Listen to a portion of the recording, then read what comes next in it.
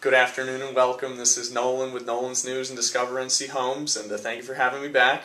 Hope everyone had a, wonderful holiday and happy New Year.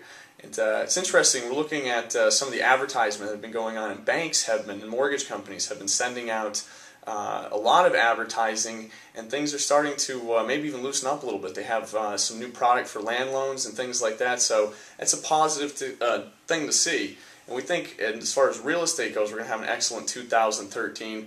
But I did want to look at some trends, like I always do, comparing 2012 to 2011. I looked at St. James, Winding River, Palmetto Creek, Boiling Spring Lakes, and Brunswick Forest. And in every community, the unit sales were up for homes, land, condo, and townhome.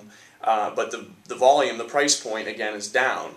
And for St. James, for example, land, there was 117 sales this year, 77 last year. For home and condo, townhome, 89 this year, and uh, 73 last year.